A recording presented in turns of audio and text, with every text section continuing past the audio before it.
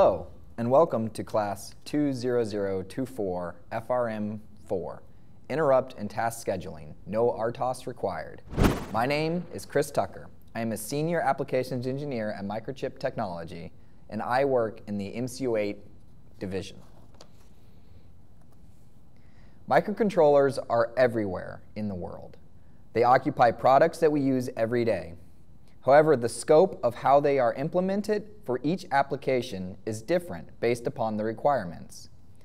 At a basic level, those requirements are controlled by a single pin, configured to work digitally as high or low, capable of input or an output. They can additionally be set up to work as analog, possibly measuring a variable input through an ADC, an analog to digital converter, or outputting through a DAC, a digital to analog converter. Remember though that we live in a complex world and often are required to observe and manage multiple tasks at the same time. This is no different for an embedded system. There are a wide range of pinout options when it comes to microcontrollers, supporting a wide range of available memory and peripheral options. These support us, the developers, with quite a collection of resources at our disposal. But this great power does carry with it the weight of responsibility. That responsibility to design a product which performs as expected, behaving as designed, while working at the response speed desired. Additionally, as coders, it is our job to build firmware in a way which reacts with minimum latency, executes fast throughput speeds, is scalable, efficient, and properly synchronized. Not to mention readable and easy to navigate or expand. To achieve these goals, we will be required to schedule our operations through cooperative or preemptive processing, utilizing simple but powerful techniques. To properly ensure a strong knowledge of the required tools for application scheduling, this class will make sure that when you walk out of the class, you will understand concurrency, the key principles involved, and limitations. You will understand how interrupts work, potential problems with them, and best practices to ensure the desired behavior. Recognize simple scheduling techniques and effectively replicate the behavior using a PIC MCU with no RTOS required. This class contains a lot of material, each topic powerful in its own way. In this class, we will briefly attempt to describe and illustrate the more important concepts. Through this installation of knowledge, it is the hope that you as a developer will better be equipped, empowered when preparing your application system design for operation.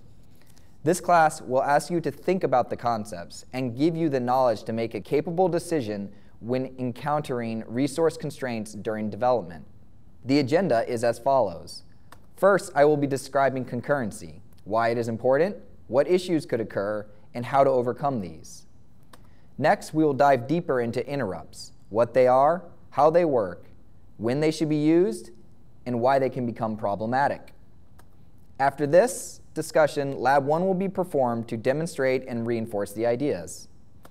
With concurrency understood, we will review cooperative and preemptive processing, how they are leveraged by a microcontroller for hybrid processing. Lab 2 will build off of these processing concepts and demonstrate methods to overcome concurrency issues shown in Lab 1. Briefly, we will talk about real-time operating systems, how they work, what is supplied, and general cost of their implementations. After this, the class will outline multiple scheduling techniques in their barest form, discussing general implementations and methods of execution. Lab 3 will continue to build off of Lab 2, but focuses more on using the scheduling techniques in an abstracted, yet easily portable and expandable code example. Finally, we will summarize. Let's move on to our first agenda topic, concurrency. What is concurrency? Simply put, it is a process which executes in a deterministic way from a defined start to an end with an expected result. In other words, it is the order in which things go from A to B within a single task. This may be a single independent action or a set of actions which must be executed in a known order to reach a conclusion for the required task. For example, if I was to enter a room, I would lower my arm, open my hand, grasp the handle, turn it, pull the door towards me. After the door has passed my body, I will release the handle, step through the door, reach back, and shut it behind me. This set of actions are all dependent upon the last, and the process must be completed in whole to accomplish the task. Because of this deterministic nature, I know that if I perform all steps in order without being interrupted, the end result will be that I have entered the room. Performing a single concurrent task is easy. However, things become more complex when managing multiple concurrent requirements all at one time. Imagine having to juggle while also entering the room. Concurrency occurs naturally within a system. It is deterministic within its process. It executes to an expected result if repeated without variation. It's complicated when multiple tasks must occur at the same time and may or may not need to interact with other concurrent tasks. Let's give another example, this time using terminology that will be discussed further throughout this lecture. We are going to brush over these topics now and dive deeper later. This will be done through the course to familiarize yourself with the terms, but also will describe them later in a more technical way. The concurrent process is going to be driving home after a long day of work. This is an action we perform commonly, and I would wager that very often it has little deviation in the steps. As a result, this process will be relatively deterministic. We are going to exit the building, enter our car, turn on the ignition, and drive our normal path until we arrive home. There may be variations in the system which affect this concurrent process, but we will talk about those in a bit. What is known so far is the concurrent action is to drive home. The current actors are you, the driver, like a variable, and the car, the transportation method, perhaps a function call. The end result is going to be arriving home. Look at it this way. It is clear that the driver variable changes. The concurrent action of driving home does not change. The result of driving home also remains the same. For you, the process may take 10 minutes. For your buddy Bob, it may take 20. However, those times result are likely to be consistent based upon the driver or the variables which are referenced. This is because the concurrent process of driving home is deterministic. The steps for each actor, respectively, will not change, and thus the results are predictable and expected. But what happens when Bob and yourself have to share a resource, such as the road? You both are in the middle of a concurrent process of driving home. You both want to go from start to completion as quickly as possible. Since you share the road, however, if neither of you yields, there's going to be a problem. This is the same common problem we have with microcontrollers. However, our shared resources is the core CPU. Our processor can only complete one concurrent task at a time. So we are going to have to have some coding logic in place to better aid in smart decision making. Returning to the road, this is taken care of by a traffic light. This gives us a rule for access, basically something which determines what action to be performed when a specific state is occurring. This is synchronization. The light is green, go. The light is red, you must stop. That is an example of a mutex implementation. We can choose to do one of two things. Light is green, go. Light is red, stop. Light is yellow, slow or accelerate based upon the distance. This is a condition. This is an example of a semaphore. We may perform a few actions based upon different conditional variables. Management of the traffic light can be scheduled in a few different ways. Two such examples are a periodic system, where the road axis is alternated between north and southbound traffic, and east and westbound traffic. Or it can be event driven, where the road has sensors which detect cars waiting and makes logical choices when to change the state based upon the data that is available. Regardless of the type of light scheduling done, some things are clear. First, the axis to the crossroad must be alternated. If it is not, then one direction will end up in deadlock, where the cars will never be able to move. Definitely can't have this happen. Second, the access to the crossroads must be fairly distributed. Everyone needs their turn to use the crossroads. If the road's access is disproportionate, it will lead to starvation, where one direction is given more access than the other. This will result in a quite a long backup on one of those roads. Probably won't work out too well inside of a city. Deciding which traffic system is best and how road access is given is up to the traffic planner. In your system, those decisions are up to the system specification or you as the programmer. On the way home, Bob decides to not, take, not follow the rules of access and attempts to claim part of the road which is currently being used by another car. As a result, there is an interrupt, causing us to have to alter our path of execution to arrive home. Luckily, we are a good driver which follows the rules of access, and we are able to react fast enough within enough latency to avoid the incident without major performance issues. Because of the detour, we are going to have to travel differently than our normal path. In the end, we are still going to get home, but now it may take a little bit longer. Because Bob did not follow the rules of access, he is now blocking. Best case, the accident is going to result in a delay, which could be cleared within a very short amount of time. The worst case, it will result in deadlock, where the road will become closed and unaccessible. Luckily, there is a side road that we are able to drive down. We had to slightly modify some of the variables, such as the connecting roads that we use to drive home. Doing so has injected jitter onto our total time.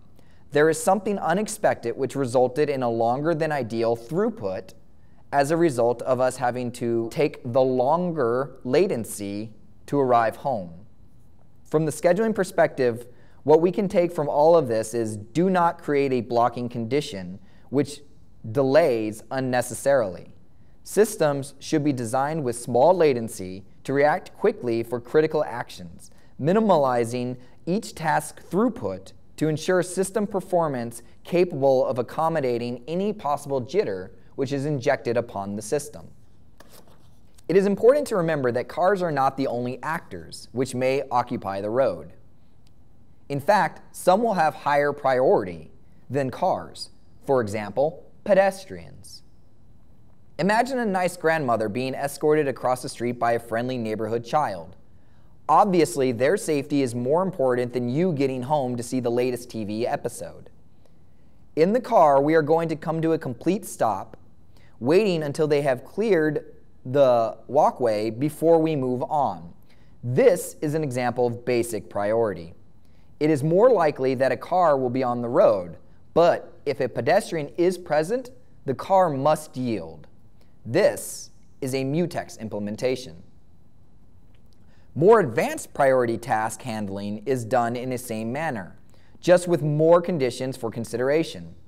For example, you have to turn left. There is a pedestrian crossing directly in front of you. Additionally, there is another vehicle across from you which is going to travel straight. According to the rules of access, you must allow the pedestrian to cross and then allow the straight car to drive by before you are able to make your left hand turn. This is again a form of semaphore synchronization. It makes logical choices based upon multiple conditional variables which may change states during normal system operation. The end result is always going to be that we arrive home. Because of traffic or accidents, the length at which we arrive home may vary. But the result of the concurrent process of driving home will always result in arriving home. Note that even if it was us and not Bob that was in the accident, we would eventually arrive home, but the jitter injection caused on the system would be much longer. After all of that, let's reflect upon it. The concurrent process was driving home. The main resources were the road. it was shared by other cars and pedestrians. The rules of access were that traffic lights exist, lane merging must be handled carefully, four way stop traffic laws must be followed, and pedestrians will always have priority. The deterministic result will be that we arrive home. Well, let's pretend that the ideal length of time that it takes to get home is a throughput of 10 minutes. But whenever we are driving home and encounter traffic, that will inject a small amount of jitter, typically about 4 minutes. With jitter injection caused by an accident, it will put an additional 12 minutes onto our system throughput. This means that typically, that ideally our latency is 10 minutes, but that our worst case latency could possibly be 22 minutes. Typically, though, it takes 14 minutes to arrive home as we normally encounter traffic. Now let's look at a more typical concurrent task requirements for an embedded application. The microcontroller must manage an LED driver. It must monitor a battery voltage, communicate with an LCD through I2C communication, manage menus and settings through an LCD display. It has to monitor and measure a potentiometer or a dial value by using the ADC peripheral. It also must detect any smoke or CO2 levels. And in case of high levels of CO2, it must have a speaker trigger an alarm. Looking at these tasks, it is apparent that some can be processed independently, while others may be dependent upon data or results from another task. Let's just look at three of these possible tasks. I2C communication managed by a touch LCD. This task will operate independently. Monitoring of LED driver via a PWM or a pulse width modulation peripheral. This task is dependent upon another task. Measuring the potentiometer value via an ADC peripheral, which will then be used to modify the PWM value. This task operates independently, but is required by another task. For each of these concurrent tasks were to be processed at one time, we would require three independent processors. However, a microcontroller only has a single processor available for use. As a result, when performing multiple concurrent tasks with a microcontroller, we instead must use virtual concurrency. This is when a single processor is responsible for execution of multiple concurrent tasks. To accomplish this, the processor must allocate time to work through each task independently. If one task is dependent upon the result of another, then the order of execution may be very important. Again, look at the same three tasks, but this time using only a single processor. In this application, the LCD is managed. Then the ADC is used to produce a result, a value result. This is consumed by the LED driver to update the PWM behavior. Through this virtual concurrency, the tasks are processed cooperatively in a sequential order. Comparing the real-world example of driving home with an embedded system design, parallels to the properties can be drawn easily. The cars and people actors in the real world become tasks or threads and processes of an embedded system. The shared resources of a single road is like the single code processor of an MCU. The number of lanes mirrors a device's available program or data memory. Alternate road paths could be supported by peripheral registers. Rules of the road become rules of operation and execution for an application design. Car turn signals are like flags indicating our system wants to change operation. Access is given to first pedestrians or police cars just as a higher priority task must be handled over lower priority tasks. At the end of the day, there must be a deterministic result. result returning home from work, or executing all applications with the correct resulting behaviors as designed by the product's specification.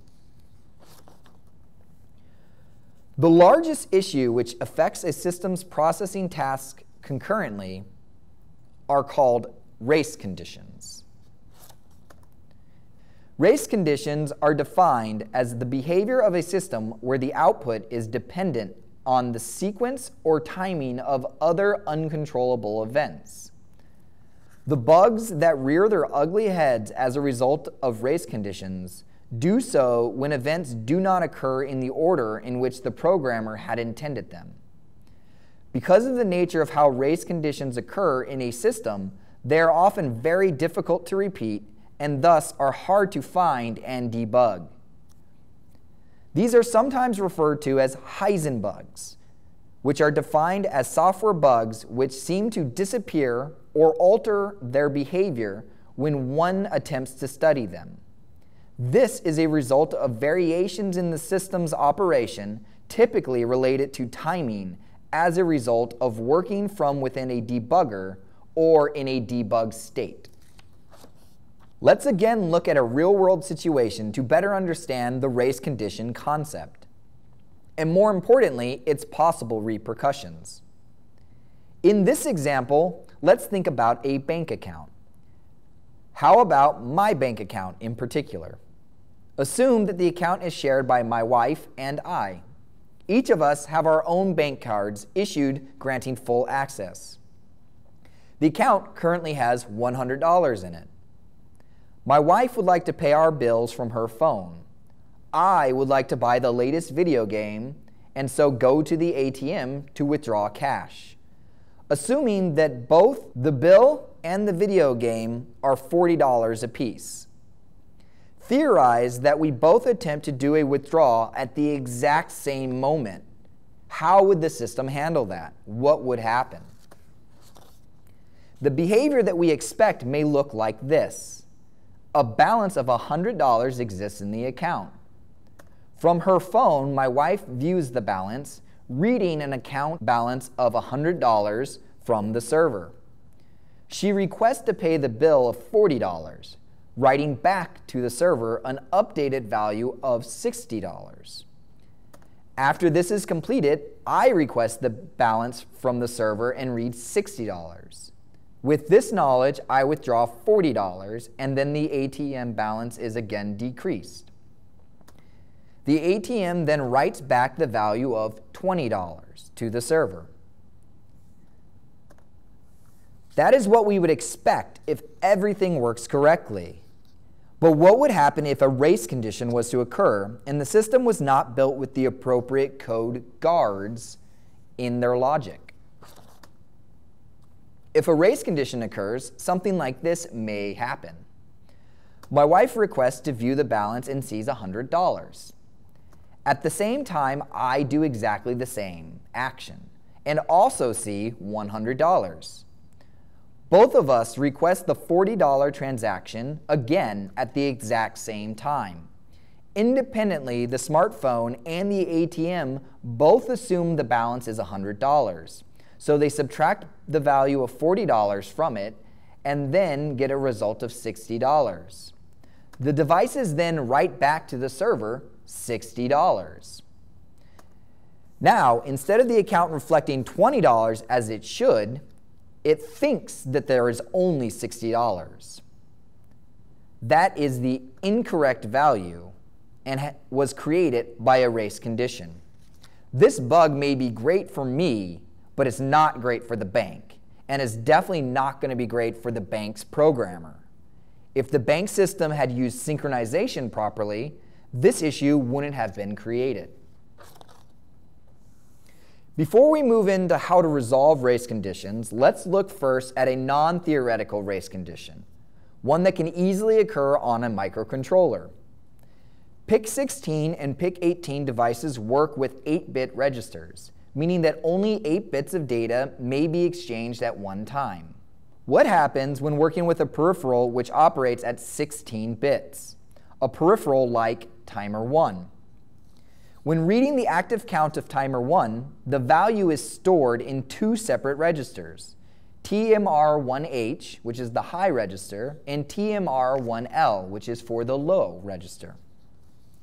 Peripherals operate truly concurrent to microcontrollers' code execution. This is parallelism, which will be further described later in the course. For now, just understand that peripherals work independently at processing their concurrent task. For now, let's suppose that the high register has a current value of 0, 0, and the low register has a value of FF. Our code requires to know the timer value. Since it is an 8-bit architecture, we must read both high and low registers separately. First, we read the high register, and we see that TMR1H contains a hex value of 00. While going to read the low timer register, the peripheral ticks, and thus increments the active count. This increments the timer TMR1L, which rolls over, returning to a value of 00 which triggers the TMR1H to increment by a value of 1. Now we have already read the high register and are reading the low register and see a value of hex 00. The result that our code believes timer 1 active count is, is now 0000, while in reality the value is 0100. That is a race condition, and it can be a very bad one if your system does not guard against it properly. There are a number of ways to protect your system. Primarily, your concern is to protect the critical section. One of the most simple ways to ensure proper value return is to stop your peripheral. This can be done with timer 1 by clearing the timer 1 on bit. Doing so prevents the active count from changing while executing from the critical section of code, which reads and stores the register value. After the critical section is completed, setting the timer 1 on bit resumes the peripheral's operation. This is not the only solution. It is just a simple example which is cheap in code. If the peripheral cannot be paused for system design reasons, another method could be a redundant check. In this method, the code would read the high register, then the low register, and then once again read the high register. It would compare the first and the second reading of the high register to confirm that it has not changed. This is more expensive in code because it requires more operations and math comparisons, but it guarantees safe operation.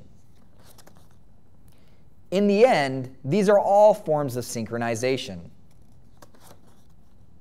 Stopping the peripheral prior to reading the register values is a form of mutual exclusion, often referred to as a mutex for short.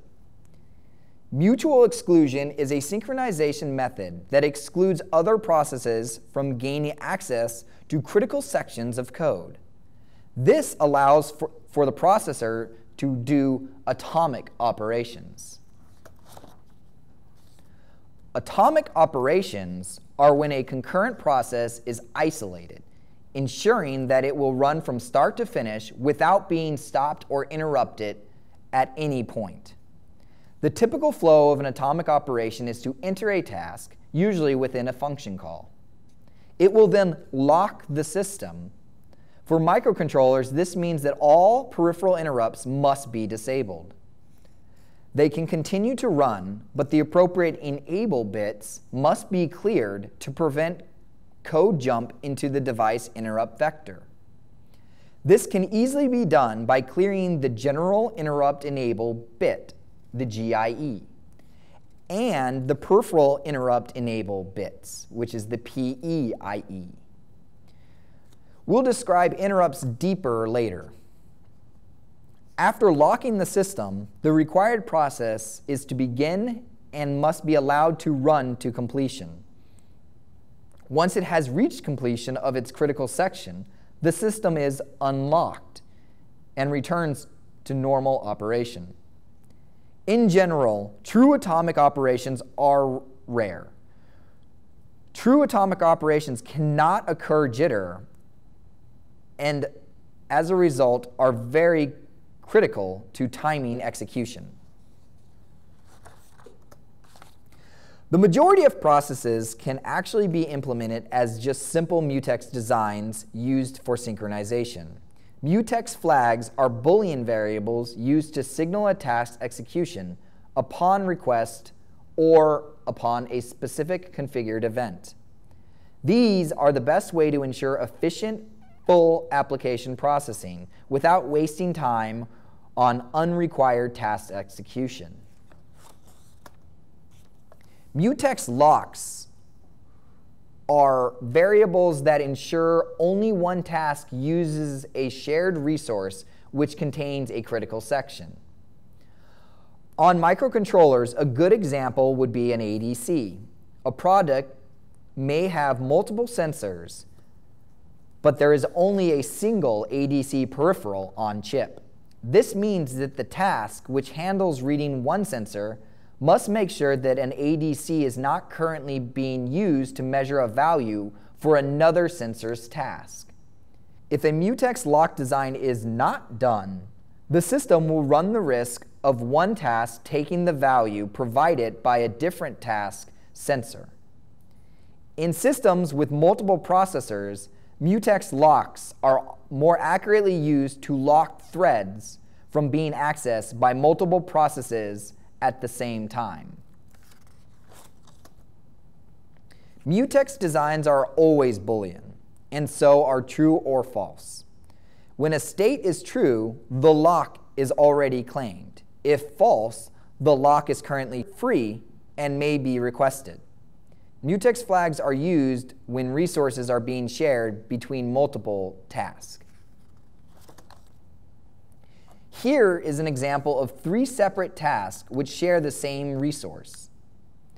This resource may be, used, may be a use of a peripheral or something like an encoding function. It doesn't really matter. It's just shared resource. Here we can see how it would work. Task A, B, and C all share the same resource. Task B is first to request its use, which returns that it is available. Task B then acquires the lock, claiming the resource. Now, when task A requests the resource, it will return with false, telling it that the resource is unavailable. Task B will then complete its operation and then release the lock, freeing it.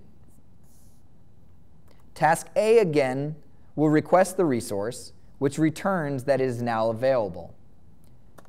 Task A will then acquire the lock and claim the resource. This will prevent Task C from being able to acquire the lock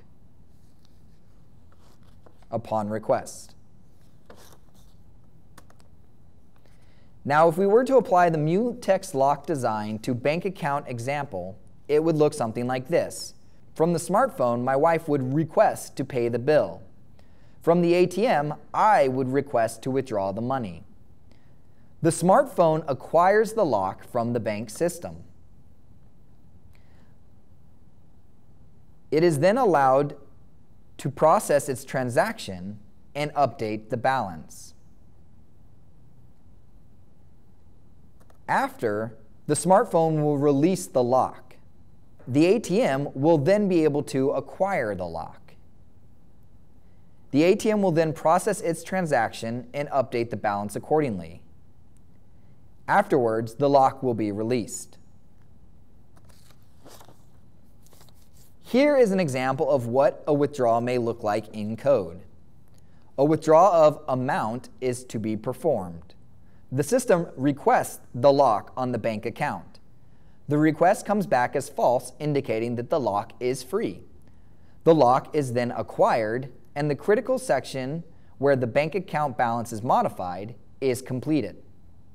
After the lock is released and the withdrawal returns as true, indicating that it was successfully performed. Note that if the request of the lock returns as true, the withdrawal process will automatically return false, indicating that the withdrawal failed to be performed. Semaphores are variables or abstract data types that are used for controlling access by multiple processes to a common resource in a concurrent system. Where a mutex were based off of a single result, semaphores are based off of results of many different variations. Most common implementations of semaphores are done through by using multiple binary flags, conditional variables, or a combination of these. If using strictly binary flags, then two flag conditions would be required to be met for a processing action to occur. This means that if checking two different binary flags, there are a possibility of up to four corresponding actions, actions which can be executed. With conditional variables, that number of checks and corresponding actions can grow quite large based upon the design.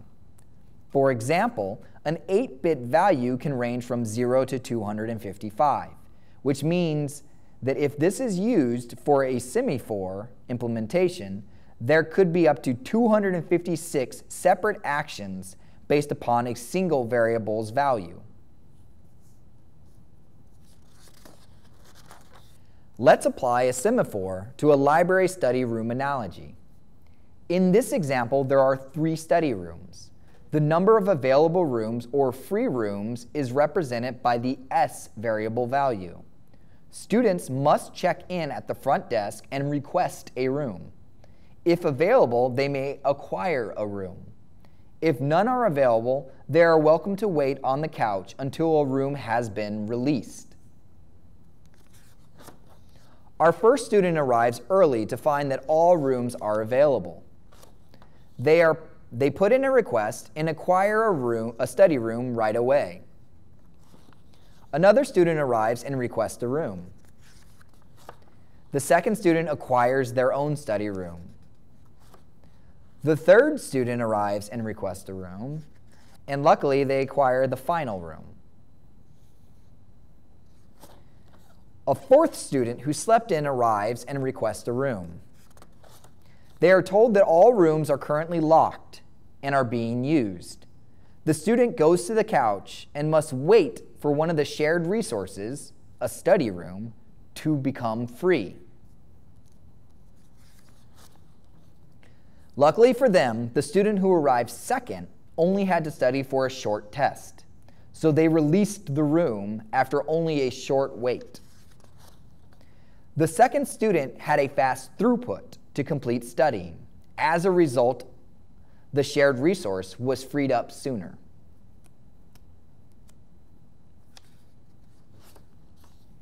This allowed the fourth student to acquire the room to complete their task of studying. In this example, the students represented an application task requiring processing.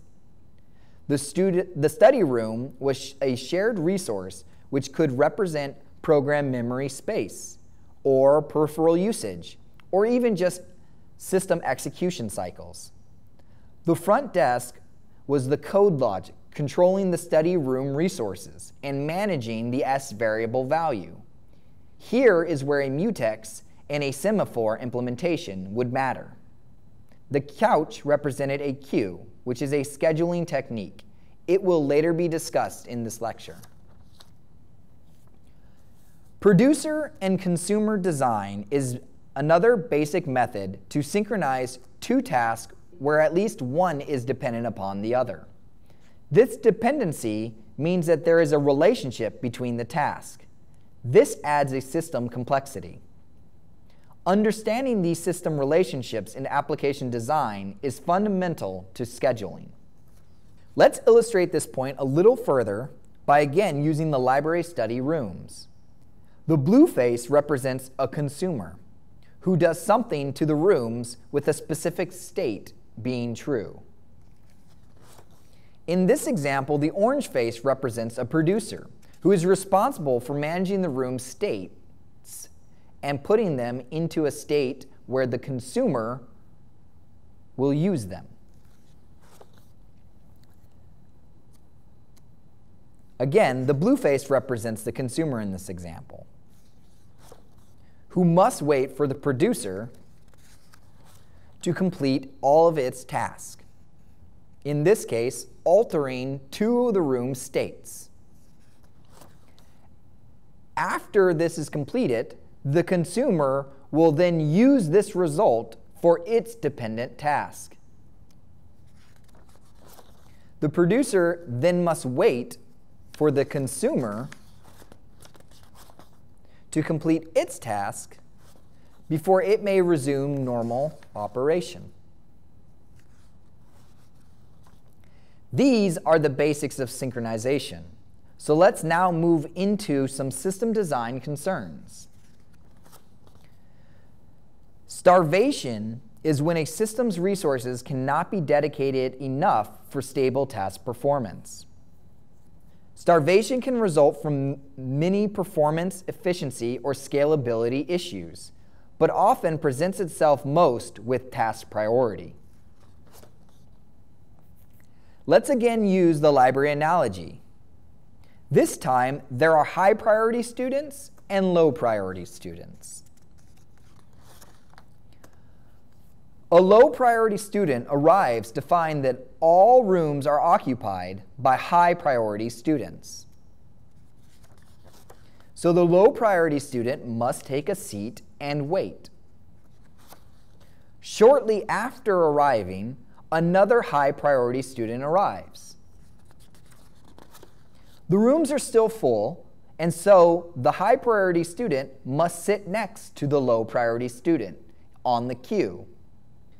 Right after sitting down, one of the rooms becomes available.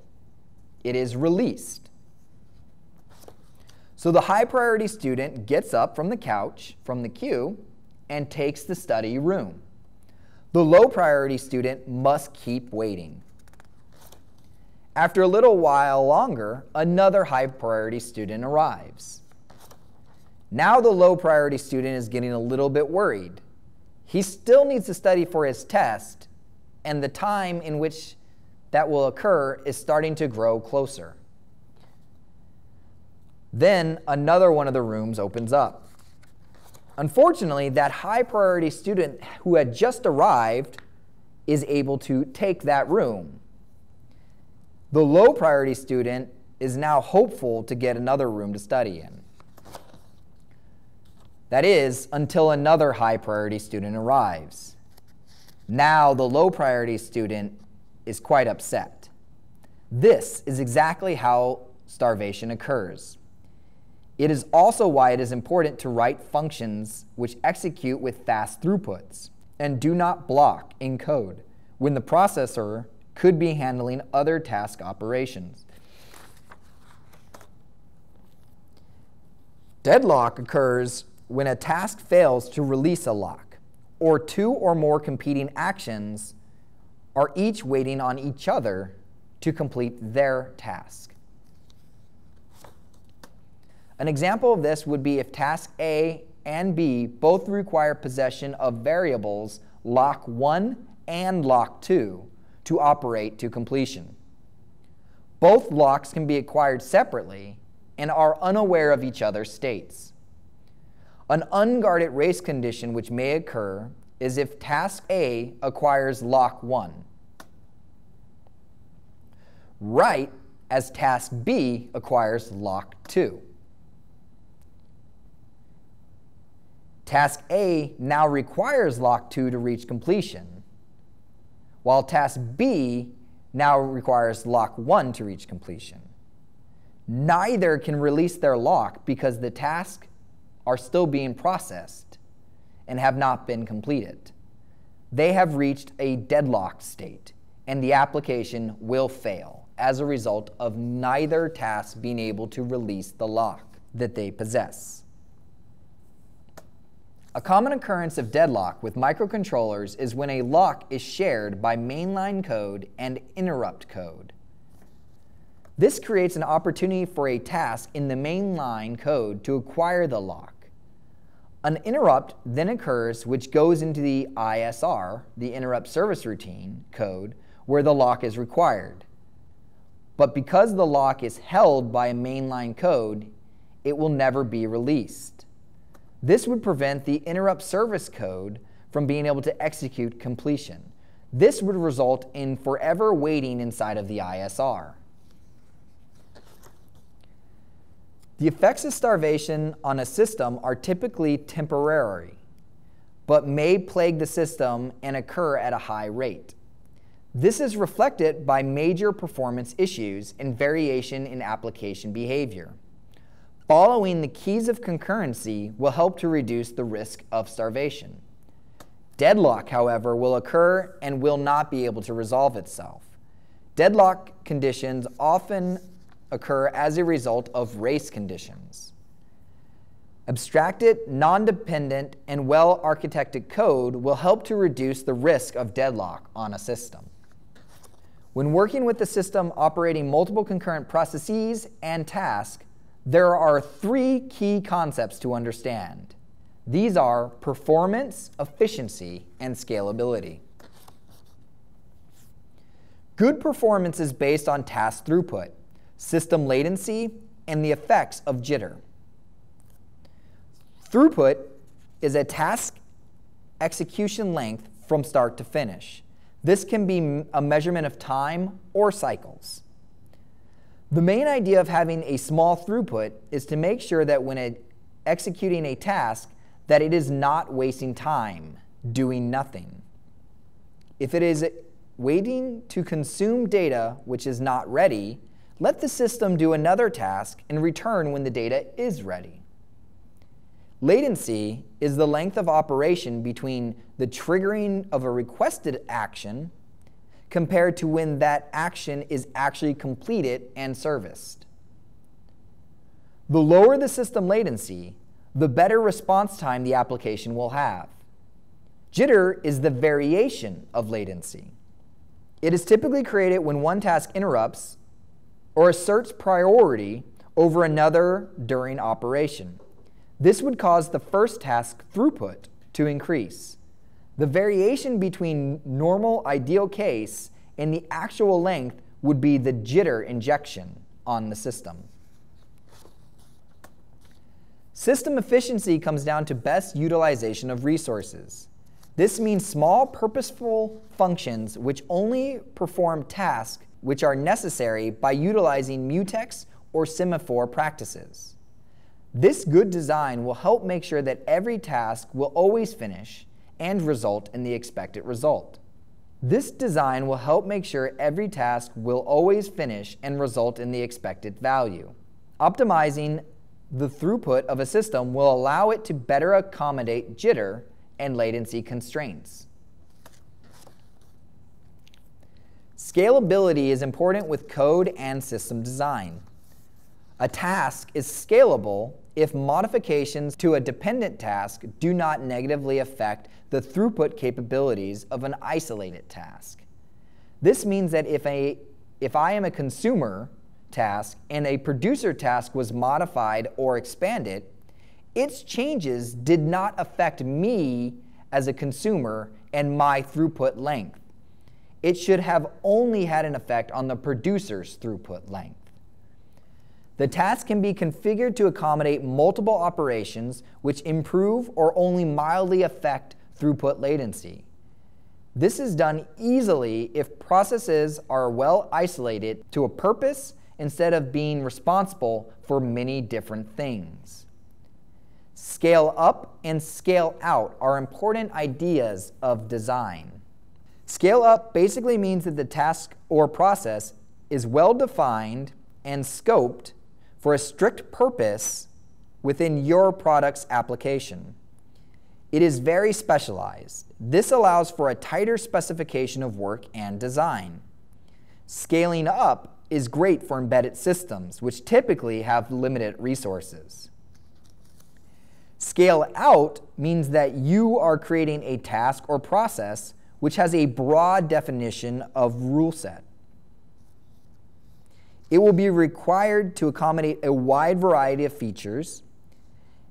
This may make for a better general adaptation process because it is easier to work with. The cost, however, is typically a large amount of resources which are required to support the broad implementations. Scaling out is good for computer or software systems where resources are more available. What tools does a microcontroller have? The most powerful tool which microcontrollers grant us as developers are interrupts. Next would be dedicated on-device hardware logic that allows for parallelism. This hardware is also known as peripherals, and they are what allow for easy scheduling with a microcontroller. Let's now discuss interrupts, what they are, how they work, and some rules to keep in mind when using them. Interrupts are signals generated which cause the core CPU to pause execution of code currently being run. Configured interrupts trigger the management of context saving of important register information to allow for safe switching during code execution. They allow the system to operate more responsive to time-critical tasks and can improve efficiency when used correctly. Most importantly, it allows the microcontroller to support preemptive processing. Interrupts are widely configurable based upon the desired application usage. Interrupts work through dedicated hardware logic gates built into the microcontroller. They operate fully concurrent to the code execution, and so response speed is extremely fast. The global interrupt enable bit, GIE, is responsible for all interrupts core and peripheral related. It is the master access control. If cleared, it will prevent all interrupt events from remapping into the ISR. Peripheral interrupt enable, PEIE bit, is responsible for only the peripheral interrupts. If cleared, it will prevent peripheral interrupt events from remapping into the ISR but interrupt events which exist inside of the INTCON register will still be mapped into the ISR.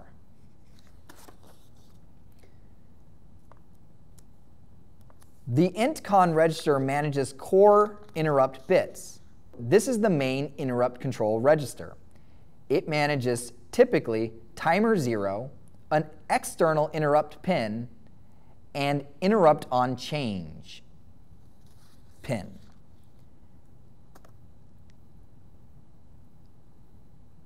Bit names which end with E stand for enable, while bit names that end with F stand for flags. The F bit will automatically be set by hardware. If the E bit is cleared, the F bit can still be read and processed through software without remapping into the ISR for processing. Setting the E bit will allow the microcontroller to pause mainline code execution and remap into the dedicated vector location within program memory space where the interrupt service routine exists. On a PIC 16, this is at hex 04. On PIC 18, hex 08 contains the low priority interrupt, while hex 18 contains the high priority interrupt. On PIC24 and PIC32 devices, it becomes very specific and reference to the datasheet is rec recommended. However, the general way that it works remains the same throughout all architectures. When configured interrupts events occur, the mainline code execution is paused. It is then remapped into the vector location of the ISR where it is processed, where context save of 12 core registers is done to ensure the mainline code is restored exactly where it was before the interrupt trigger happened. The values stored in the 12 core registers seen here are copied into what are called shadow registers, which occupy a dedicated memory location which guarantees safe context switching between mainline code and ISR. The 12 core registers will be required for ISR code operation as well. This is why the mainline code's core registers must be copied over into the shadow register upon the interrupt event. Devices such as the PIC-18, which have high and low priority interrupts, support corresponding shadow register counts. So the PIC-18 device will have two shadow registers to support the ability for two interrupt vector locations where code can be executed. The address location where the mainline code was previously executing from is pushed to the top of a hardware stack and will later be popped upon restoration, allowing the code to resume execution correctly. With the safe context switching achieved, code located inside of the ISR will begin to be executed.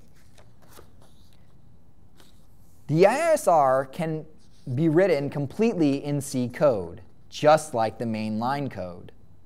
The function is identified by the qualifier underscore underscore interrupt. It has no parameters passed and is a void return type. The ISR should never be called from the mainline code. It should always be handled by hardware. If this type of operation is required, it should be instead triggered using a peripheral interrupt. The compiler encodes ISR functions specially and handles linking routines to the interrupt vectors automatically. Upon entering the ISR, the GIE bit is cleared automatically by hardware. After completion, the RETFIE instruction is used as a return, but also includes restoration of the GIE bit to set. After ISR code is executed, the context of the mainline code is then restored. After which, the ISR will then also have the original 12 core registers restored back to their original state by parsing out the information from the shadow register. The values retained in the shadow registers will restore the original mainline code values. The code execution address is popped from the hardware stack, and the mainline code resumes processing from its previous location. The mainline code will then continue to be executed until the next interrupt trigger event occurs. This is what an interrupt would look like in C code. The main code has configured timer2 peripheral to generate a periodic interrupt. This was enabled by setting the TMR2IE bit inside of the peripheral interrupt enable 1 register, also known as the PIE1 register. Since the PEIE bit is set, this interrupt allows the peripheral to trigger ISR entrance. Additionally, since the GIE bit is set, upon the interrupt event, the code will automatically enter the ISR. The mainline code does nothing. It just waits for the configured timer event to occur.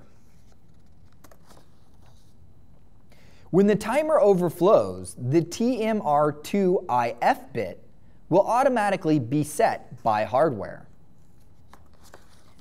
This will trigger the entrance into the ISR, where the first thing to occur will be that the GIE bit will be cleared.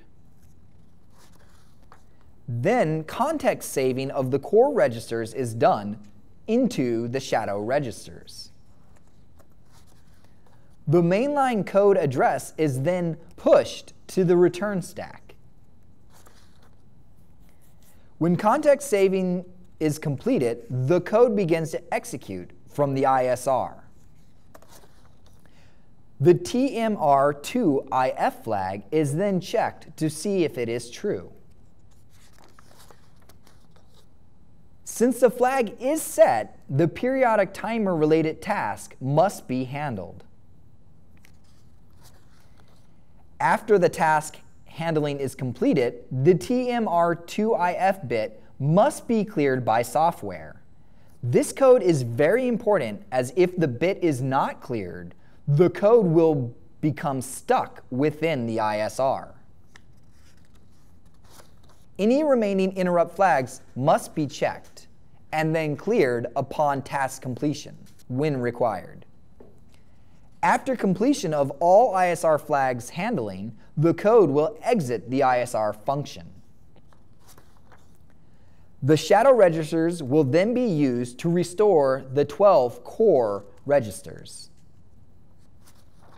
The GIE bit will then be restored automatically to set by hardware. The return address will pop from the stack and resume mainline code execution. There are some concerns with ISR operation. The ISR is very powerful when used correctly. Some of the potential problems include handling of race conditions, latency, jitter injection, the blocking nature of interrupts, and forming a false sense of priority associated with the timing that interrupts are processed. The most common cause of a race condition related to the ISR operation are typically a result of a direct global variable manipulation or usage from multiple locations within the code. For example, here the 16-bit variable i is declared globally and is incremented from within the mainline code. In the ISR, timer 1 is being used for periodic events, and the value of i is checked as a conditional variable which controls if a process is to be executed or not. This is the same race condition that we discussed earlier in a different way. I is a 16-bit variable, and the architecture is 8-bit. It is halfway through variable value update when the interrupt trigger event occurs. This results in the ISR value being captured as 0x100, whereas the conditional value check is against 0x150. As a result, the logical check becomes incorrect, and the process was skipped when it should have been called. Again, the simple solution to this is to clear the GIE bit from within the mainline code to prevent interruption while updating the shared variable value. In general, it is highly recommended not to use global variables in this way. Instead, abstract the variable management by using getter and setter functions.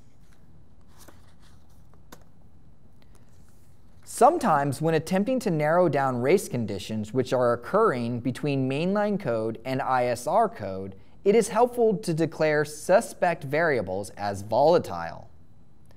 Volatile means that the compiler must assume the variable can be changed by an external factor, and should not assume that it has remained the same value during optimization. This is equivalent to telling the compiler, do not touch me. ISR latency is very important to consider. Suppose that there are three peripheral tasks being handled in the ISR. If all three of these peripheral interrupts were triggered in sync, then upon entering the ISR, all three flags would be set awaiting processing. The first flag would be checked, its task executed, and its flag cleared. Still within the ISR, the second flag would be checked, its task would be executed, and its flag cleared. Only then would the third flag be checked, its task executed, and flag cleared. Minimum latency would be different for each task. However, if only the application interrupt was triggered, the length of time to complete that task and exit the ISR would represent the minimum latency. Maximum latency would always be the combination of all tasks' minimum latencies, which are being executed sequentially. Note that latency also exists within the mainline code.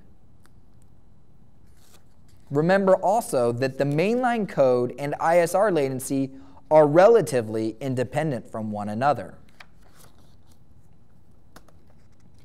Jitter injection, however, is directly related to the mainline code and ISR relationship. ISR tasks operate causing jitter injection onto mainline code.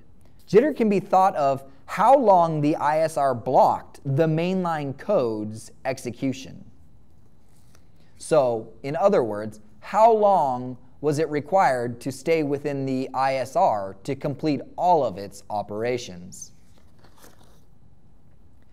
The ISR can be considered blocking by nature just by its existence. If a task is being processed in the ISR, then the mainline code tasks are not being handled. So the longer the ISR task takes, the more jitter injection will occur. This will increase the mainline code's maximum latency and impact its overall performance. That is why it is very important to have short task throughputs which are executed from within the ISR. The golden rule of the ISR, however, is to make sure that all flags become cleared after tasks are handled, or you will forever become stuck within the ISR, never to return to the mainline code.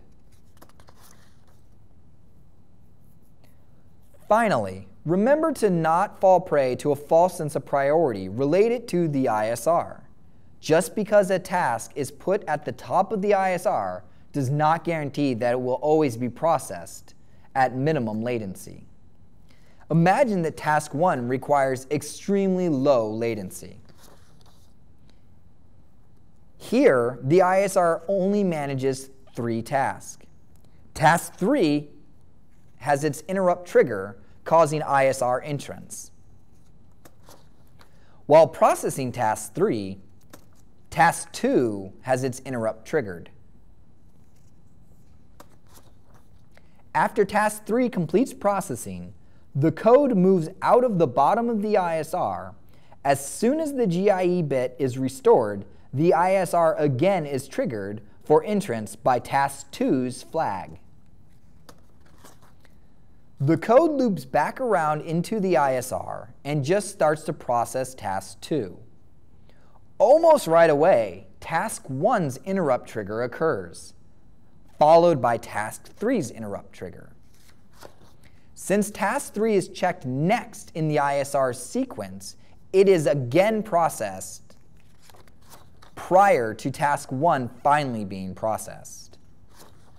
This is why if a task requires near instant response where latency variation cannot exist, multiple interrupt vectors are required. These ensure context saving across multiple shadow registers and hardware priority is handled. For very time sensitive tasks, interrupt isolation is always recommended. Different PIC architectures offer different options. On PIC 16 currently there is only a single ISR. On PIC 18 devices currently there is a high and the low priority ISR. PIC 24 and PIC 32s have a collection of vector interrupts with various priority configurations. It is likely that vector interrupt designs will exist on some 8-bit devices in the near future. In review, some general rules of the ISR are keep task throughput short. This improves system latency and mitigates jitter injection. Avoid anything which is blocking or waiting on data when executing from the ISR. Do not rely on the order in which the ISR tasks are processed. Avoid the use of shared global variables which can be accessed by mainline code and ISR. Now, moving on to Lab 1. This course is supported by three demonstration labs, as well as flowcharts to easily show application design. The intention of Lab 1 is to have a simple application which has not followed the keys of concurrency or the rules of ISR operation. It will quickly and easily demonstrate the effects of jitter and latency on performance. It also demonstrates a product which would not be easily scalable or able to quickly add last minute features. Lab 2 modifies the application of Lab 1, adding in a basic scheduler and using mutex and semaphore system designs for improved performance. The code is less abstracted and easier to follow than in Lab 3. Lab 3 supplies a more extensive application scheduler, using techniques discussed further in the lecture. While the labs are meant primarily to demonstrate the ideas discussed within this lecture, they too should supply a basic framework to develop future applications upon.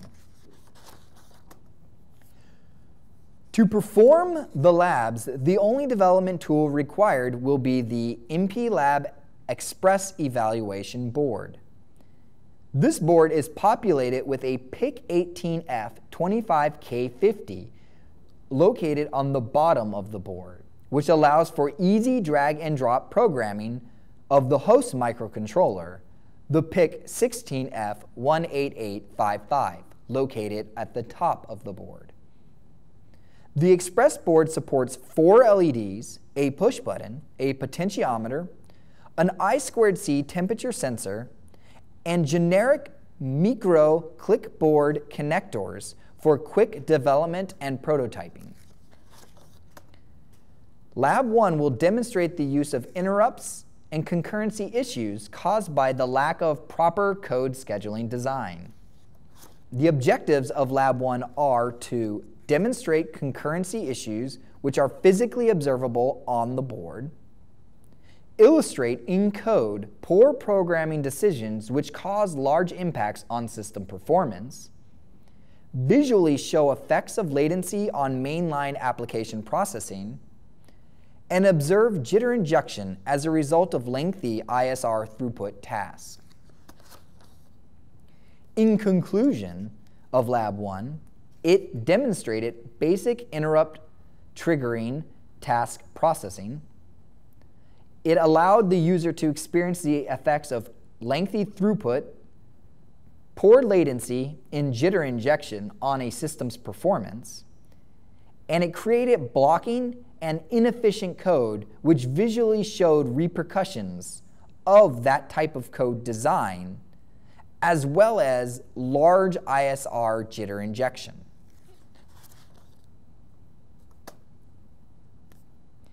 Next to interrupts, the most powerful tool in a microcontroller's box are their peripherals.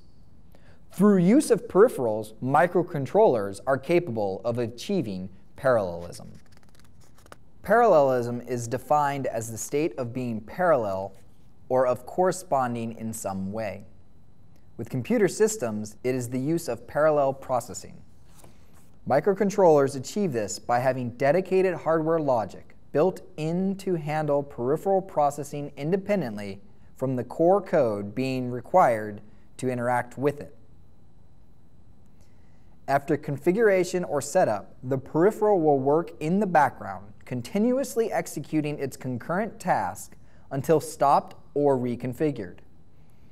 Upon reaching completion of its task, the peripheral will make available to the user the result. It will then repeat the concurrent action regardless of if that result was taken or used by the code. Its processing is independent from the code being executed. Usage can include monitoring a sensor input value, driving a modulated signal output, or leveraging the internal hardware logic to affect behavior of a connected external device. Implementations of how the peripherals are used can vary depending upon design requirements. Some examples may include using an ADC peripheral but with the enable bit cleared. In software, the flag bit is monitored. When set, the peripheral has completed the conversion and is ready for the mainline code to read the result from the register for use. This would be an example of a purely cooperative processing. Another would be using the I2C peripheral, this time with the enable bit set.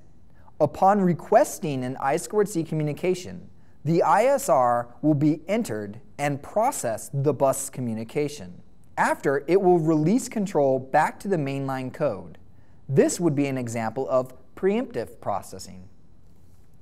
A third example would be using the COG peripheral, the configurable output generator, which is one of the microchip's core independent peripherals, CIPs. After initial configuration, CIPs require no interaction with the mainline code and also do not require execution from the ISR. They are truly independent concurrent task executors. The only resource consumed to support CIPs are the hardware pins used as input or output signal paths. No core execution cycles are used at all for the functionality is handled by dedicated internal logic gates. Let's discuss peripherals from core independent peripherals once more. Standard peripherals will execute concurrent tasks without consuming core cycles through parallelism. Upon result completion, the core will be required to use instruction cycles to request the result from the peripheral. In code, it will then require instruction cycles to process that response. Even if the interrupt is generated upon peripheral result completion, the core is required to process the task request through the ISR. Core independent peripherals, however, also execute concurrent tasks without consuming core cycles through parallelism. However, this time, upon the result's completion, dedicated hardware logic will automatically output the result without needing for a request to be handled. The result signal is outputted automatically external, or even internal to the microcontroller with no core cycles consumed. CIPs do not require ISR execution. That is a minor but vital distinction between peripherals and core independent peripherals. A CIP can be configured to behave or used like a standard peripheral, but per standard peripherals are not capable of achieving all of the features which a CIP can. Here is a small example of implementations of both standard and core independent peripherals on a PIC16F1614 or 8 device. This design is intended to control a single phase brushless DC motor using a full bridge driver circuit. In the past, doing this would require a lot of math, code, and logical choices to be made. Now everything is handled by the CIPs and dedicated hardware. The majority of work is being handled by the CIPs and dedicated hardware.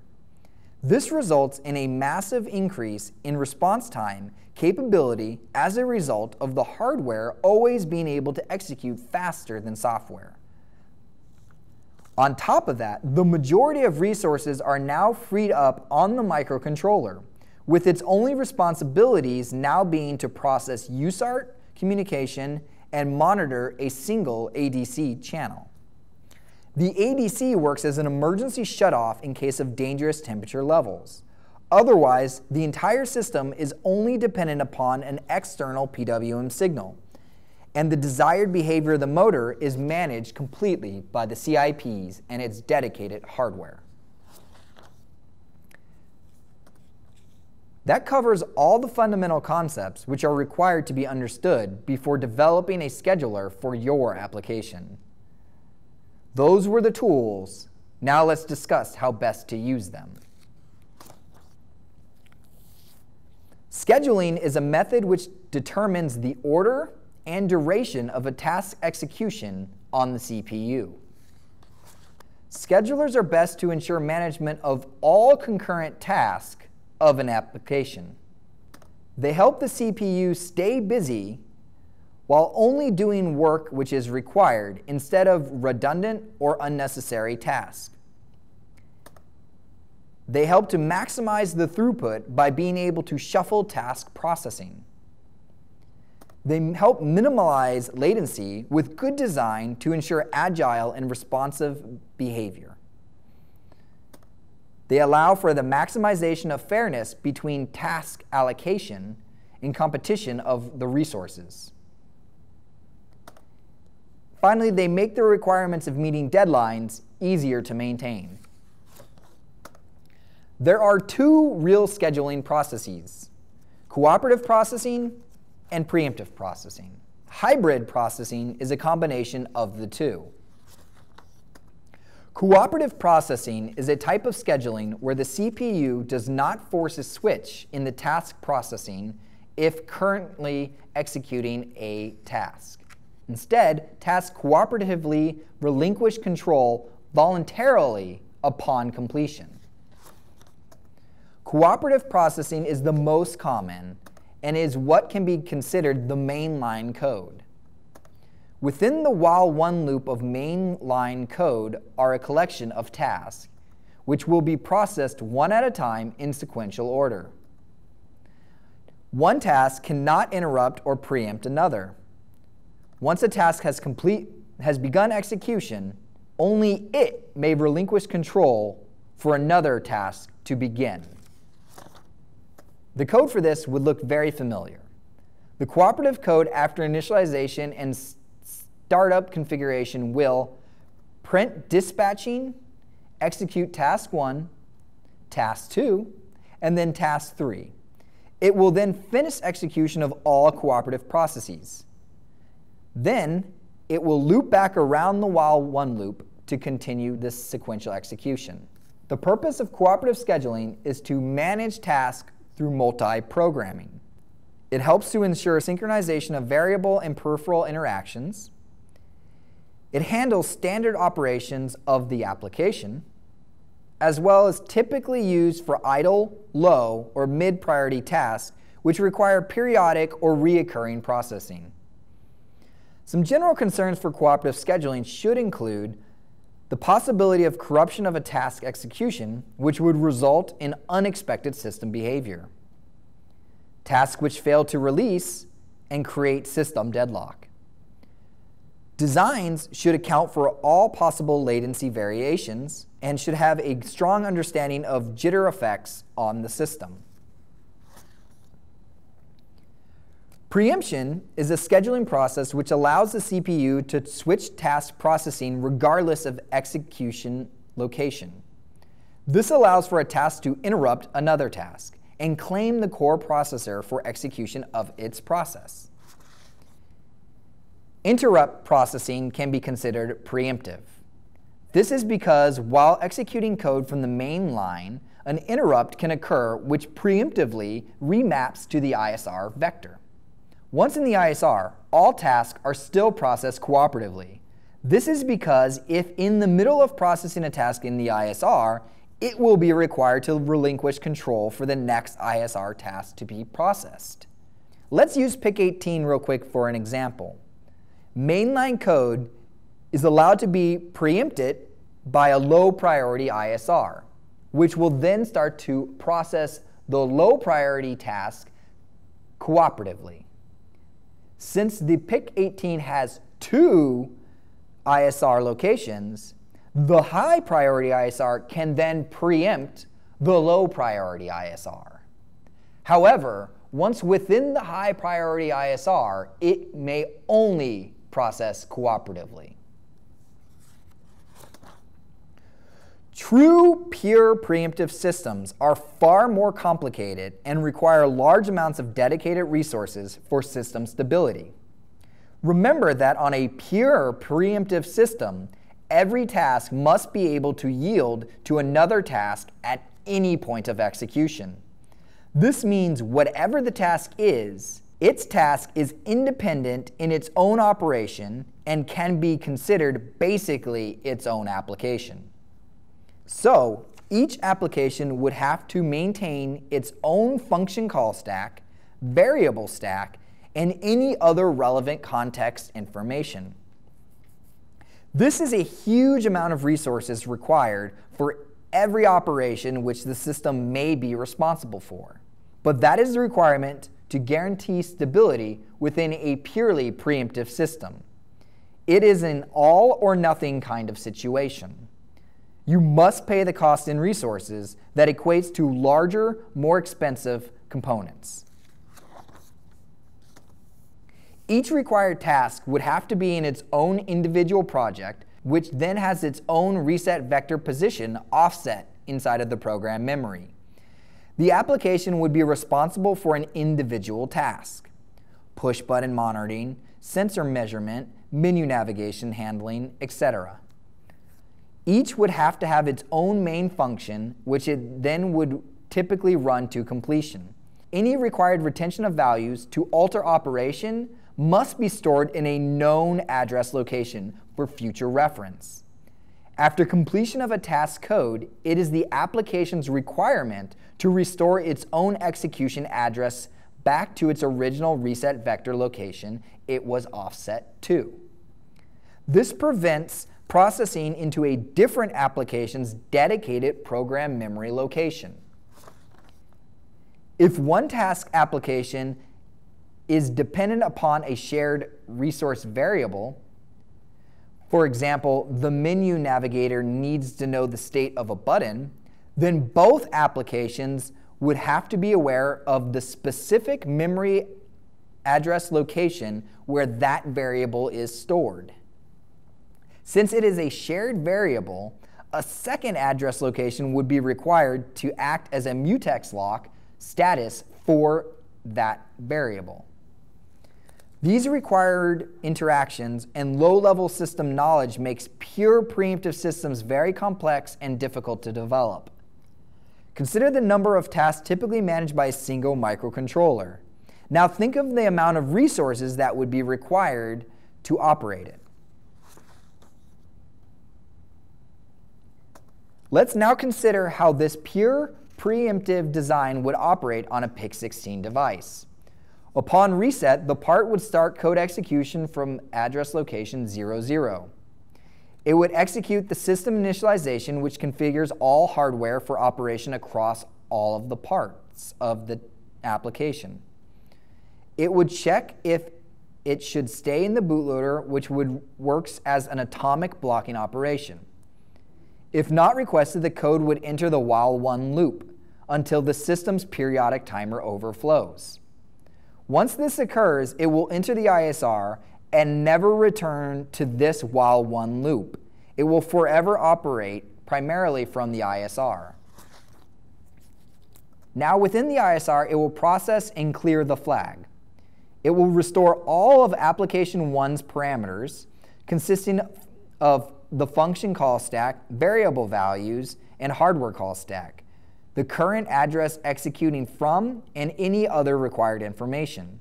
The code will then begin to execute from that address location, where, wherever that application's reset vector was offset to. It will execute itself to completion and then restore its own dedicated code execution address location. Upon the next periodic timed event, the flag will be set returning the code execution to the ISR. All application context information must then be stored off. The next application's context information will then be inserted. The ISR is then exited, and because of the new context information, code execution will begin from the new mapped reset vector location. This type of design, through use of a single timer and a manual context man manipulation, is typically what an RTOS will do for on a microcontroller. RTOSes will leverage the compiler to create its preemptive system, reducing some of the resource costs and management of HARDC.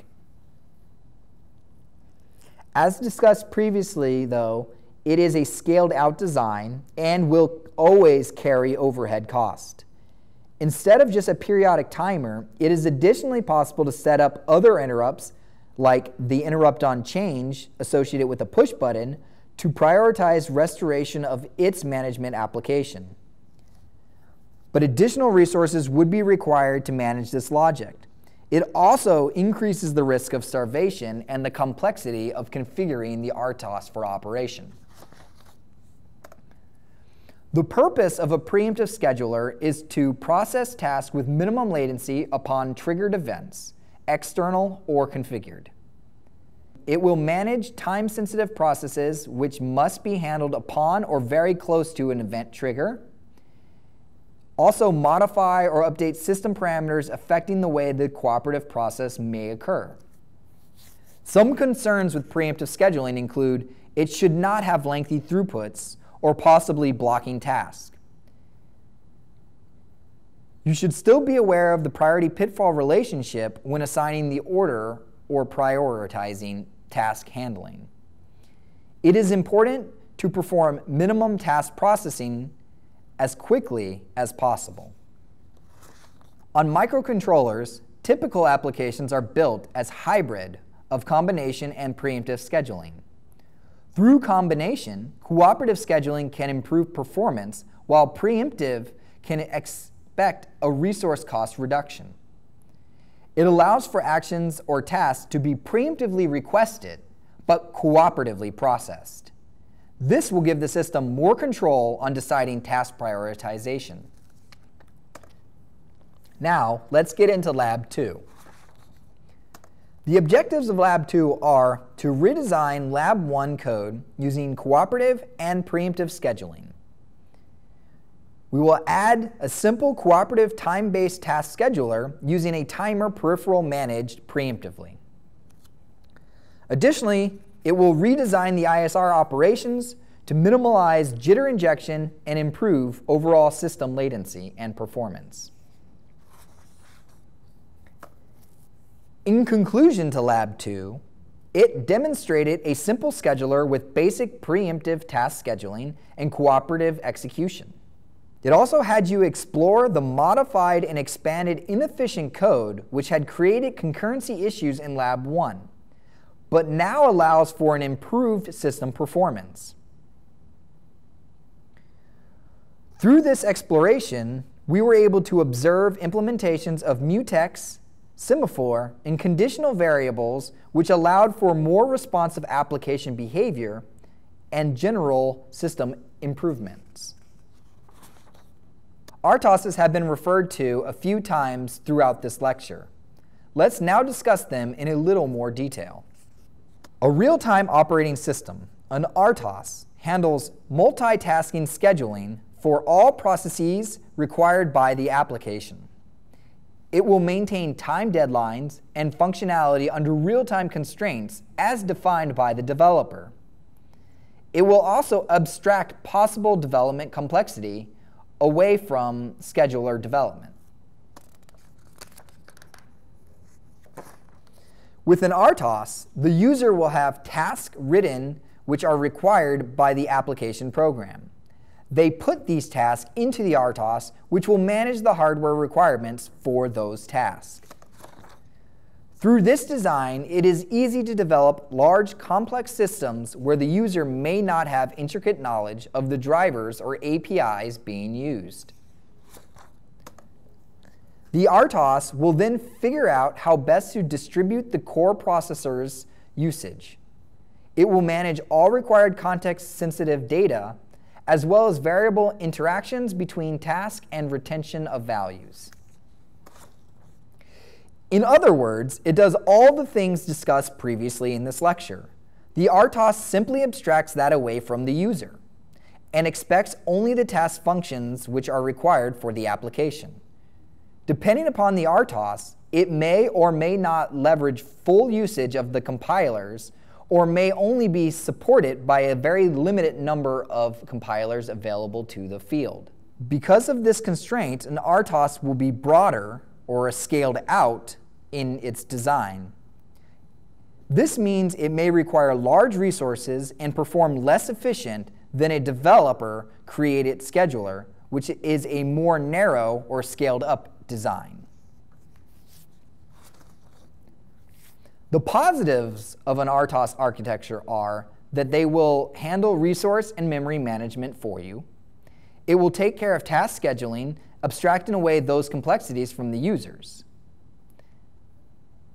Some of the negatives are that they will require a large or dedicated amount of resources, even for some features which may never be used.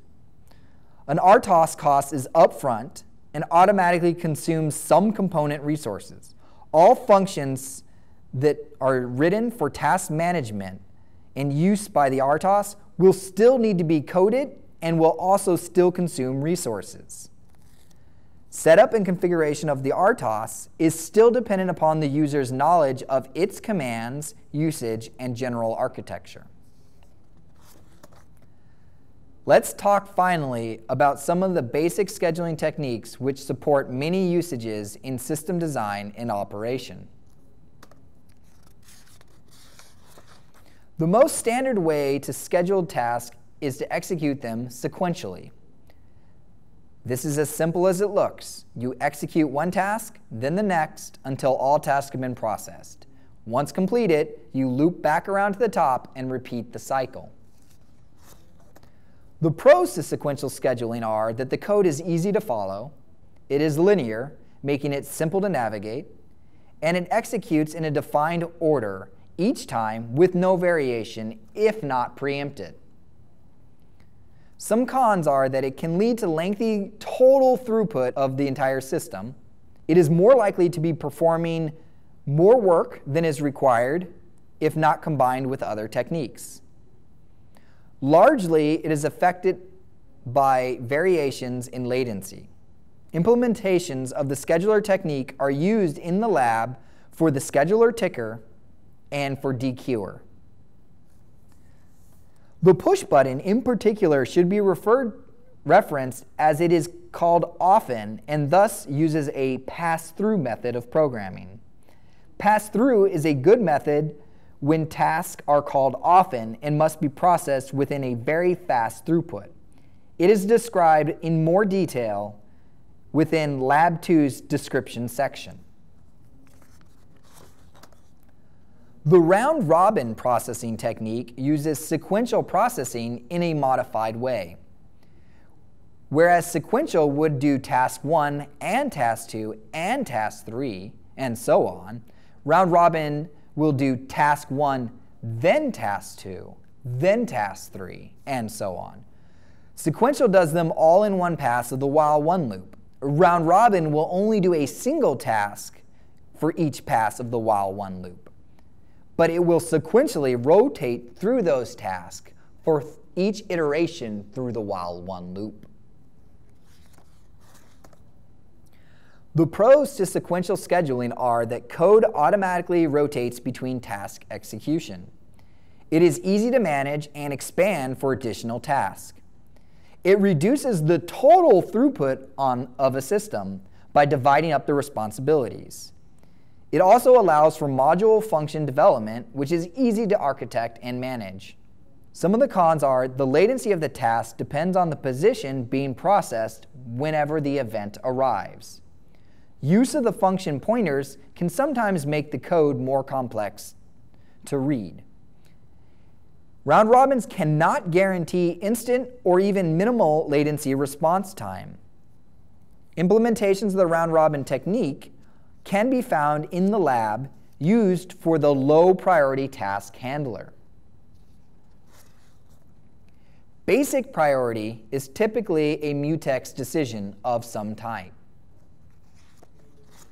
This task or that task, whatever the logic is for the choice, really just depend, depends on the design. let's say task 2 is more important than task 1. Task 2 only requires processing, however, when an event occurs, but it has a much longer throughput than task 1. Task 1 needs to be processed more often, but is less vital to stability. It has a very short throughput. In this example, we can use a flag to dictate which task will be handled. If false, task 1 is executed. If true, however, task 2 requires execution.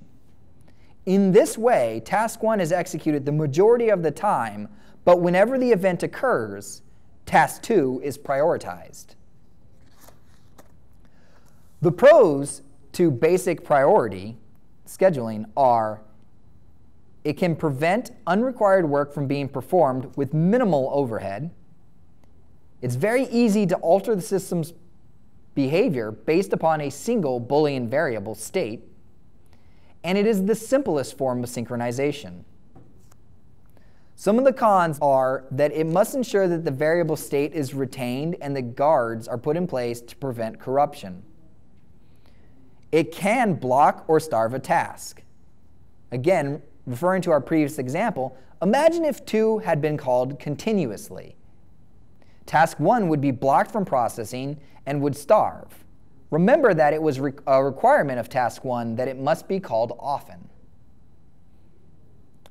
Another con would be that it can cause a wide variance to the total throughput or the latency of the system. Task 2 is much longer than task 1. And therefore, whenever task 2 must happen, the system latency would automatically increase. Implementations of a basic priority technique in these labs can be found for the basic priority handler, which had a high priority task, or called the low priority round robin handler. Advanced priority is a semaphore where basic was a mutex. It is just additional logical checks. In this slide's example, the flag has the highest priority. So task one is ignored, prioritizing the flag for execution. The pros to advanced priority techniques are that additional logical checks allow for more options for the application's execution. It is, again, easily expandable when structured correctly. It allows for much better system control as a result of the increase to the amount of information about the system known, allowing for more detailed synchronization decisions. Some of the cons include that it may make the code more complicated. There are more chances for bugs to sneak in. However, writing well isolated, abstracted code makes finding these bugs much easier. It also will require the scheduler to have better oversight and understanding of the system. Once again, a good upfront design specification is suggested and will help overcome any of these problems. More variables must be maintained and stored, which increases the general resource cost of implementing an advanced priority system. An implementation of the advanced priority technique can be found inside the lab for the LED alarm state of operation. The stage technique is best used when a full task has too lengthy of a throughput. The task is then broken down into separate executable stages. Each pass through the task will process a single stage and release. In this way, the stages are processed using a round robin technique. As you can see here, Task 1 executes and then handles just stage 2A and then goes to task 3. On its next pass, it will do task 1 again, stage 2B, and then task 3.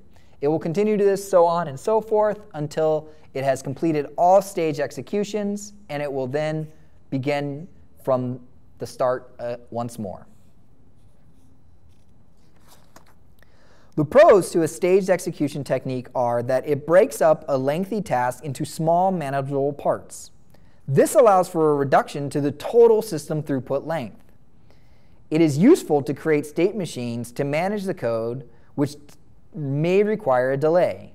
This allows us to avoid blocking code or waiting for a data variable to be freed up by the system.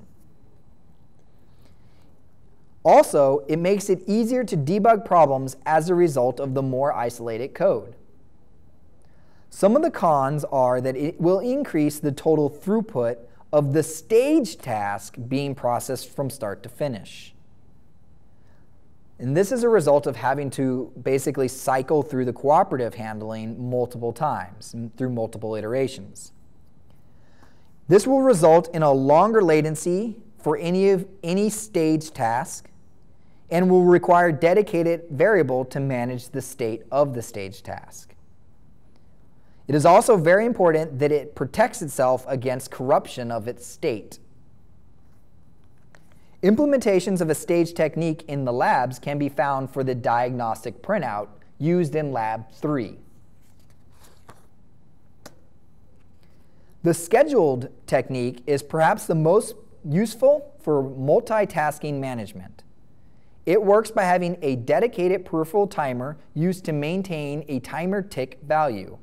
This value is used to build scheduler tasks which are processed cooperatively. Scheduled tasks can be processed using many techniques depending upon system requirements. In this example, we can see that task A will be executed every 10 milliseconds, task B every 100 milliseconds, and task 3 upon every one second event. In this example implementation, the scheduled events are processed sequentially. So the first second task will occur, sorry. So the one second task will occur the latency cost of the 10 millisecond and 100 millisecond throughput task execution. This means that the 10 millisecond task will occur nine times before the 100 millisecond task occurs. Also, on the one second event, the 10 millisecond task will be processed, and then the 100 millisecond task will be processed before the one second event is processed. Again, this is only an example implementation and can be modified and expanded to conform to the product's task processing needs. The pros to a scheduled technique are that you have better control over timed or periodic events. Typically, it's easier to read and follow the code logically. It isolates and abstracts code work to predictable intervals, and it is ideal for managing performance of a cooperative system. Finally, it is easy to expand for future features and creates very flexible applications. Some of the cons are that it requires a dedicated and accurate timer or clock source used to create the ticker value. Resources are required to manage and maintain the ticker for the scheduler.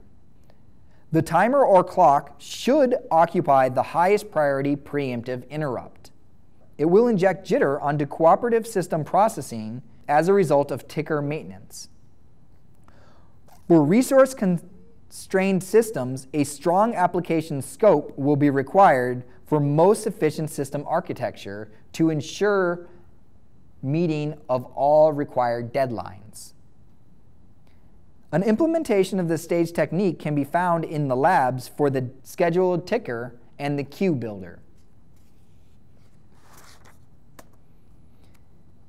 Queuing is a technique where triggered events are acknowledged and stored for later execution. When an event occurs, the corresponding task responsibility is enqueued. It adds it to the queue. The queue is filled with triggered tasks. It can fill from bottom up or top down. This depends upon how it is intended to be processed. Also, if there needs to be any type of prioritization within the queue. This can be done until the queue is full. The pros to a queue technique are that it allows for a dynamic list population of defined system events. It can be sorted or rearranged to meet system priority requirements. It is easy to modify the queue, references, or method of enqueuing. Some of the cons are that the population order of the list can be non deterministic. It may be complex or difficult to navigate without knowledge of system architecture. It must manage and prevent queue overflows. Event triggering intervals versus the processing throughput relationship must be managed. This means that the queue should not be able to fill faster than it can be emptied, or that tasks added to the list must always be handled to prevent task starvation. Additionally, queues can sometimes make it more difficult to read the code at a glance. Implementations of the queue technique can be found in the lab for the queue builder. If queuing is done, then a dequeuing technique must also be used along with it. Like the queue, the design can be adjusted to match the needs of the application. For this example, the dequeue is a second separate buffer which directly copies out from the queue once it has been filled. By making them separate, when the queue becomes free, more tasks can be produced or enqueued, later to be consumed by the dequeuer. Again, like the queue, the technique used to dequeue or execute the queue depends on the system requirements. For this example, when the dequeue buffer becomes full, it triggers sequential processing of all tasks. The pros to the dequeue technique are that processing a queue task can be done using a variety of techniques. It requires little modification to alter methods of processing or dequeuing. Advanced logic decisions can easier be added or removed or expanded upon without affecting the queuing process.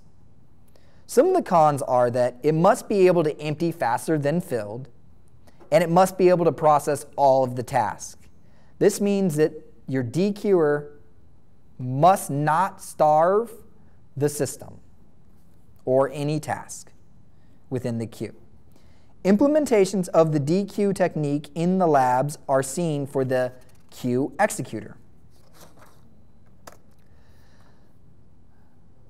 Let's now walk through a quick scheduler example which combines the use of all of these techniques. We're going to call it a round robin scheduler. The rule is that each task must only be processed for a length of quantum time, in this case, a value of 2. There are four tasks managed by the scheduler. Each has its own burst time, representing the total throughput length required for each task to reach completion if executed atomically. Task 1 has a value, a burst time value of 2. Task 2 has a burst time value of 4. Task 3 has a burst time value of 3. Task 4 has a burst time value of 5. Since task 2, 3, and 4 all have burst times larger than the allowed quantum time, we know that they must be broken up into stages using the staged execution technique. Task 2 has two stages, each stage with its own stage burst time of 2. Task 3 also has two stages, but stage 1 will have a burst time of 2, while stage 2 will only have a burst time of 1. Stage 4 has three stages.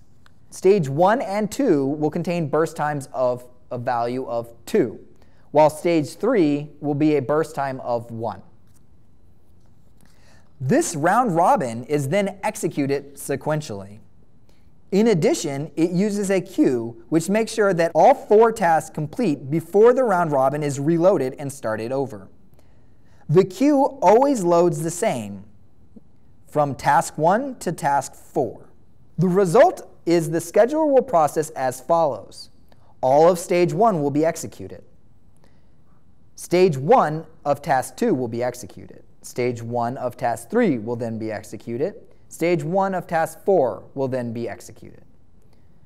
Stage 2 of task 2 will then be executed. Stage 2 of task 3 will then be executed. Stage 2 of task 4 will then be executed. And finally, stage 3 of task 4 will then be executed. With all tasks completely executed, the process will then be repeated. Now, let's get into the code of Lab 3. The objectives of Lab 3 are to expand Lab 2 with additional process scheduling techniques, supply code examples and implementations of the discussed techniques, and finally, develop an expansive application using a hybrid of cooperative and preemptive processing scheduling. In conclusion of Lab 3, it created a simple but expansive demonstration application using multiple scheduling techniques. It implemented a semaphore design in the ISR to mitigate the impact of preemptive task processing on the scheduler timer value. It followed preemptively requested and cooperatively processed principles by moving the majority of the code execution to the mainline code and out from the ISR. Finally, it encouraged additional learning with a challenging bonus problem, which would require the developer to have a good knowledge of the scheduling techniques discussed within this course. And those are all the important fundamental concepts needed to write a good scheduler. So in summary, today we covered concurrency, how race conditions occur, and the methods of synchronization to overcome them, interrupts, the hardware and the configuration of them, shadow registers and context switching, which is done for you automatically by the microcontroller hardware, parallelism, which is used to achieve multitasking through peripheral and CIPs, cooperative and preemptive scheduling, the two types of process scheduling, RTOS architectures, what they do and require, how they operate, and how they are executed.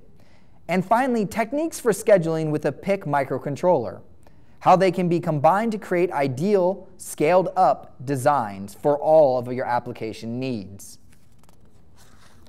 Some additional resources include book publications, Making Embedded Systems by Elecia White, and Embedded Multitasking with Small Microcontrollers by Keith E. Curtis. These online sources are also recommended. These three episodes by the Software Engineering Radio, in particular, do a great job of covering concurrency. Building an instant up real-time operating system, a blog post on the embedded website does a good job of describing ways of scheduling applications. And finally, Adam Dunkels website will talk about proto-threads, which is a bit more applicable to computer systems and computer science than embedded systems, but the concepts are still important to understand. Uh, and finally, thank you for attending my class. Once again, my name is Chris Tucker, and I am a senior applications engineer here at Microchip Technology.